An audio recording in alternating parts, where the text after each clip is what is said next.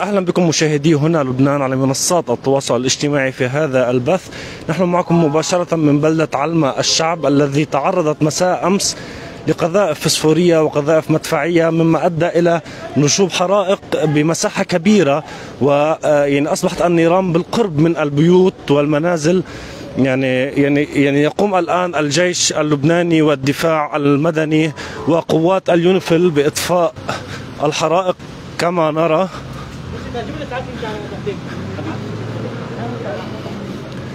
إن إذا مشاهدينا كما نرى يقوم الجيش والدفاع المدني وقوات اليونيفيل بإطفاء الحرائق. إن أيضا هناك هناك نقطة ثانية يندلع بها حريق وهي بمحيط عيتا الشعب.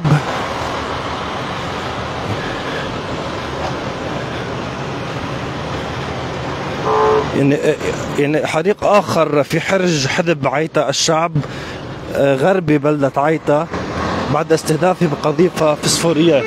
يعني يقوم هذه هي مدرسة في علم الشعب يعني النيران من حولها كما نرى.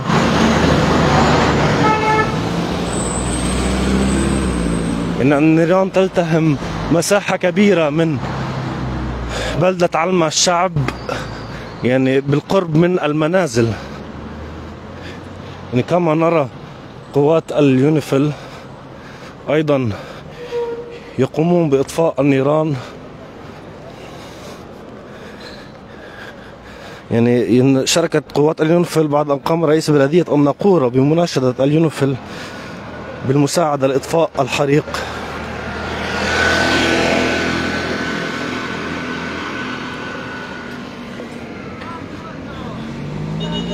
النيران منذ نهار أمس منذ ليلة أمس تقوم اندلعت بفعل القذائف الفسفورية التي رماها.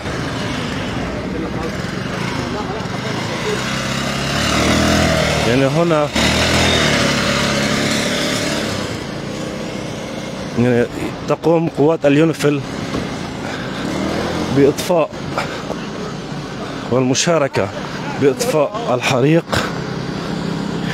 يعني أيضا في هذه الأثناء الجيش الإسرائيلي يمشط بالرشاشات الأحراج المحيطة بموقع رويسات العلم في مرتفعات كفر شوبة ووادي هونين مقابل بلدة مرقب يعني كما نرى كما نرى القوات الطوارئ تقوم بإطفاء بآلياتها آلياتها الخاصة والجيش اللبناني أيضا وأيضا مواطنين من البلدة يقومون بالمساعدة.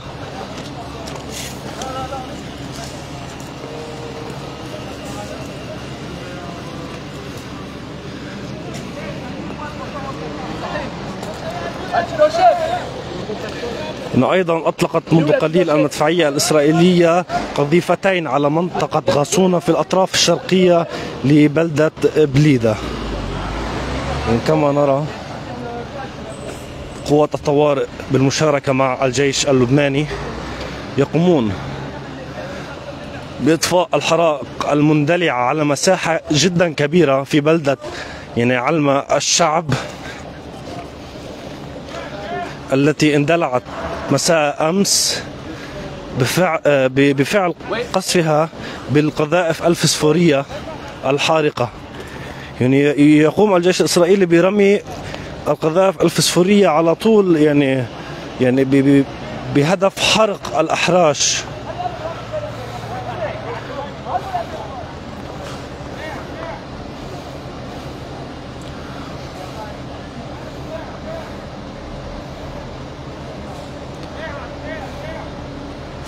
يعني أيضا آه، يعني نعى حزب الله اليوم عددا من مقاتليه.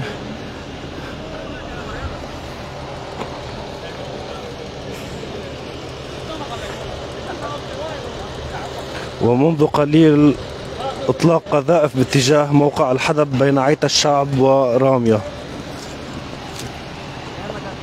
يعني ليس هناك بيوت متضررة في هذا آه، الحريق حتى الآن.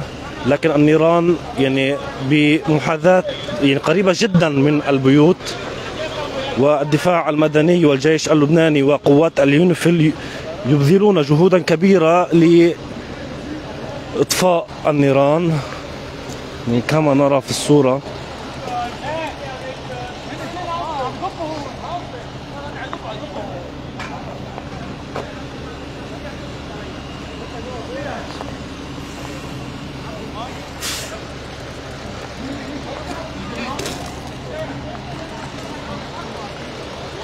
إذا هذه هي الصورة من بلدة علمة الشعب.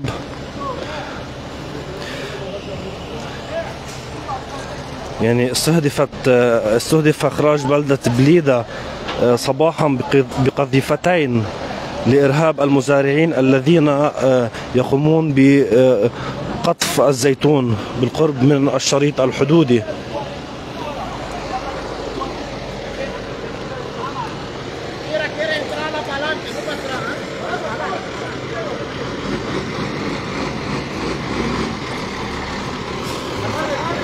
يعني القذائف الفسفورية والضوئية التي يلقيها الجيش الإسرائيلي فعلا تقوم بأضرار كبيرة من الحرائق وخصوصا مع أنه الحر يعني.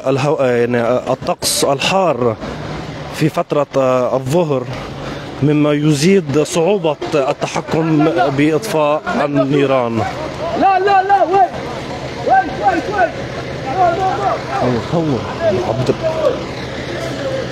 علي تعال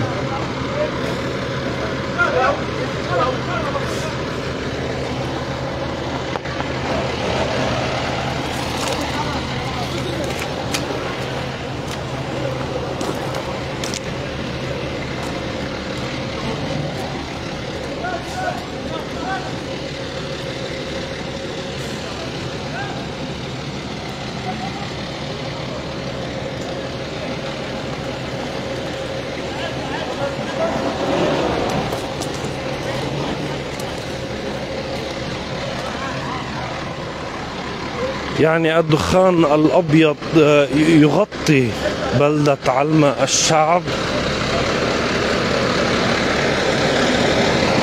يعني كما نرى هذا هو المشهد الدخان الكثيف. الدخان الكثيف في بلدة علمة الشعب.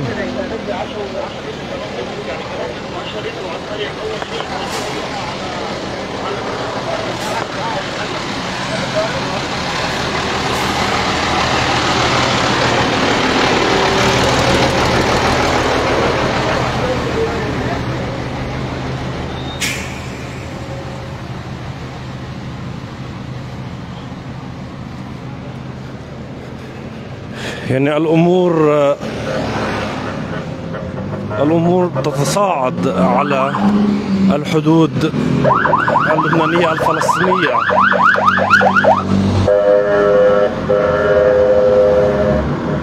يعني كما نرى الدفاع المدني وقوات النفل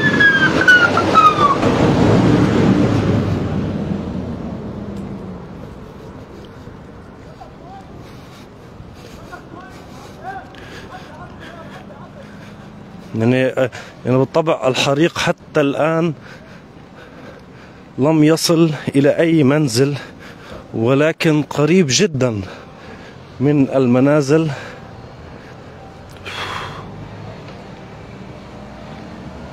هناك دخان كثيف جدا وتصعب الرؤية. والحرارة عالية جدا. يعني حتى هناك جر يعني آليات زراعية تساعد في إطفاء النيران من أهالي البلدة.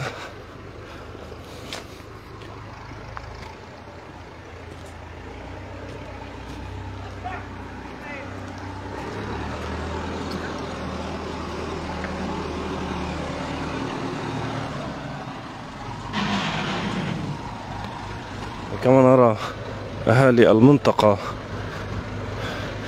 يقومون بالمساعدة في إطفاء الحرائق.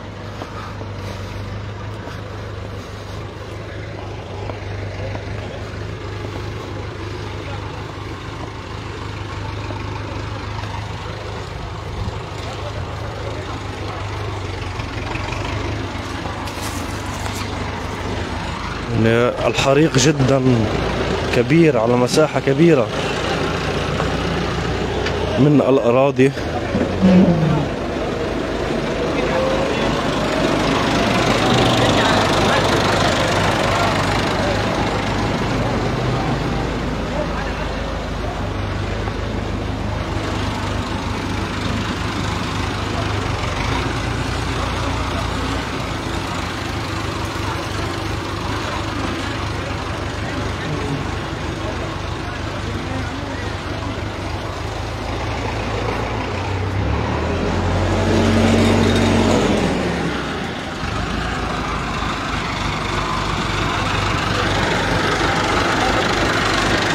هذا شخص من أهالي البلدة يقوم بمساعدة اليونيفيل بإطفاء الحرائق.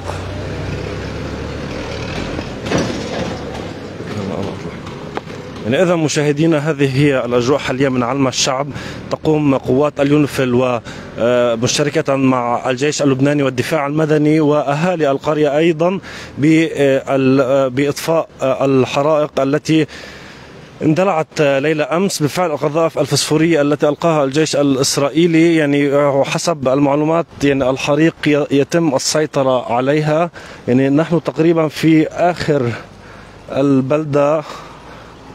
يعني لكن هناك دخان جدا كثيف. إذا مشاهدينا سنكون معكم بأي جديد. لحظة حصوله. شكرا لكم للمتابعة وإلى اللقاء.